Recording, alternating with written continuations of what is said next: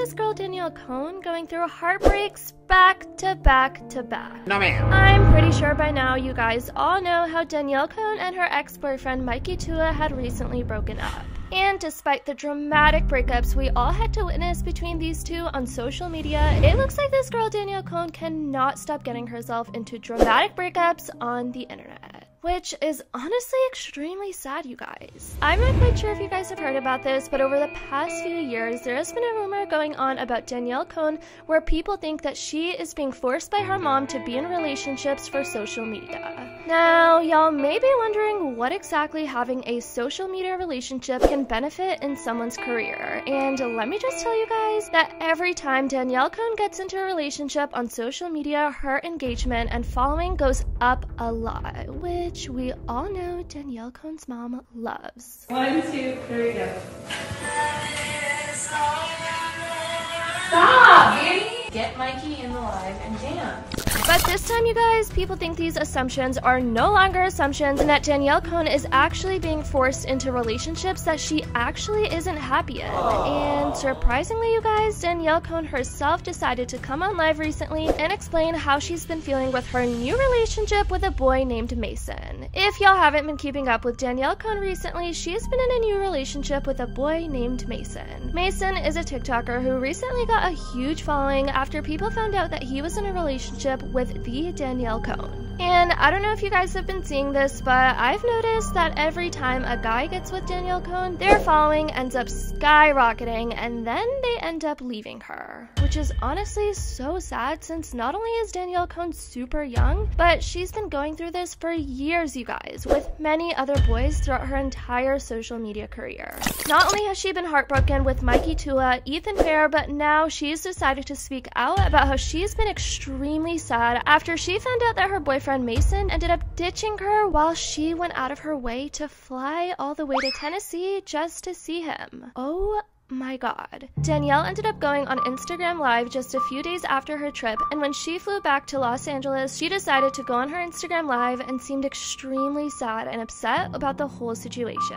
A ton of Danielle's fans started asking her what was wrong, and she finally decided to spill the tea, and a lot of people, you guys, felt really bad for her. Here's what happens is like people will treat me like a queen, and then when they get me, and they think I'm wrapped around their finger, they don't treat me like a queen no more.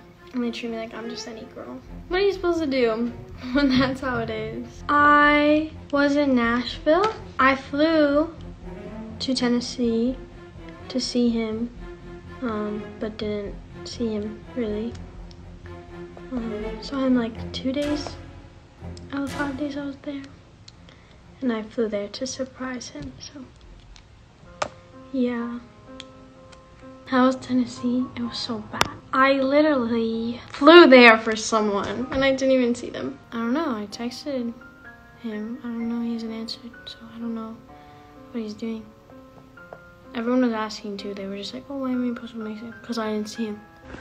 Is she crying? No, I was definitely not crying before I got on this. I definitely have not cried today. That was such a lie, but it's I'm confused, and what's happened? Did something happen with her and Mason? Long story short, she went to Tennessee to see Mason for five days, but he only spent time with her two out of the five days and ghosted her for the other three days. I cannot with the amount of breakups this poor girl has to go through on social media. Moving on to the next topic of today's video, you guys, we need to talk about the only TikTok relationship that has made it this far in the history of TikTok relationships. Yeah, guys, we're talking about none other than Noah Beck and Dixie D'Amelio. I know there hasn't been much drama in TikTok relationships recently, but let me just tell you guys that over these past few months, no other TikTok relationship other than Noah Beck and Dixie D'Amelio has been getting a ton of speculations about their breakup and the fact that they're even pregnant. Yeah, where did y'all even come up with this stuff? This specific time, you guys, Noah Beck decided to stick up for Dixie D'Amelio and his relationship with her and make a public statement asking everyone to stop making speculations about his relationship with Dixie D'Amelio and how it's getting completely out of hand at this point. And I honestly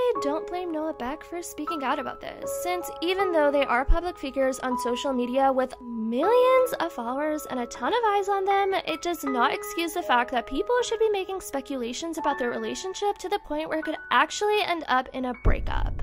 I'm sure none of us would want that with our own relationships. Now, come on now. So, I'm not quite sure if you guys have noticed about anything about Noah Beck and Dixie D'Amelio's relationship, but if you have been keeping up with the relationship, then you know that they haven't been seen together on social media as often. Which was obviously suspicious as hell, because if you guys have been keeping up with the beginning of Noah and Dixie's relationship, then you would know that they would be together on social media almost every single day, you guys. And they would even go on Instagram lives together almost every week just to update their fans. But now that they haven't been seen together as often anymore, there's obviously been a ton of rumors and some rumors that are even having Dixie and Noah extremely concerned. Such as people assuming that they've broken up, that Noah has cheated on her, and even that Dixie could be pregnant. Yeah. I'm not kidding, you guys. So, with all that being said, the paparazzi ended up meeting up with Dixie D'Amelio to finally ask her the question of whether her and Noah were even together anymore. And even though she said that they were still together, she said that they've been completely busy, which is why they haven't been seen together as much. How are you and Noah doing? We haven't seen you guys together in a while. Well, in LA. Yeah, we're good. We've both just been really busy recently. Even Noah himself decided to publicly come up with a statement addressing all these rumors and accusations about his relationship with Dixie D'Amelio and how they could be broken up. I'm sorry I haven't been as active or even myself lately. There has just been some personal things that I have been dealing with, but I hate to see when I come on here that people assume things about my relationship.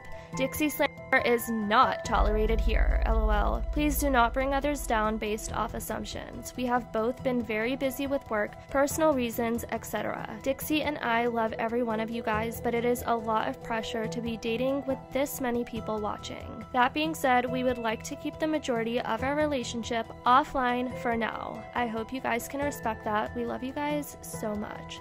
Yeah, that's enough of Dixie and Noah's relationship, and now we need to talk about none other than Eilish. It's crazy to me that Billie Eilish is getting into so many controversies in just a month, you guys. First, it was her music video drama, then it was her boyfriend, and then it was her allegedly queer baiting. But the list didn't end there with Billie Eilish this month, you guys, because now she is getting canceled for. Just guess. She's getting canceled for deciding to paint the CDs that she wants to sell to her fans. Wow. How are people mad about this? If I was a Billie Eilish stan, I would be happy knowing that her own hands painted that CD for me. But apparently, you guys, thousands of people are upset over this. Just to give you guys a backstory on Billie Eilish and the recent merch she's decided to sell out, which isn't the first controversy she's had with merch, since we all remember that she also got canceled for selling her merchandise for super expensive. But this time, you guys, Billie Eilish decided to sell CDs for her new single called Called happier Than Ever. Here's what she had tweeted for her fanbase. Shop limited edition splatter painted Happier Than Ever CDs. Hand painted by Billie, Available in limited quantities now. Each album cover is one of a kind, no two are the same. Billie followed up this promotion for her merchandise by making a video where she thought it'd be a good idea to splat paint using her own hands all over these CDs, which some people weren't crazy about, but others found disrespectful as hell. Shortly after Billie had posted this promotional video promoting her merchandise, thousands of people started bashing her for this idea and even started coming for her own management team saying things like, At Billie Eilish, there's no real way to verify the CD was painted by Billie. People can just make fake ones. Her team didn't think this through. No, because Miss Billie, you think splattering white paint on your CDs is gonna make your music better? WTF, and you call this deluxe. Girl, please. Hand painted? You didn't even touch them. I'm crying.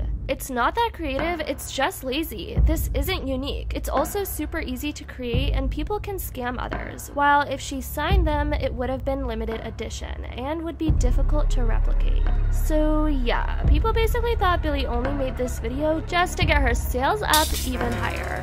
Anywho, I definitely want to know what you guys think about Billie Eilish getting cancelled for splattering paint on her CDs. Do you guys think she was just gonna scam her fans, or do you actually think all her fans would have received paint splattered by Billie? Let me know your thoughts in the comments down below. I love y'all so much, and as always, I'll see y'all in the next video.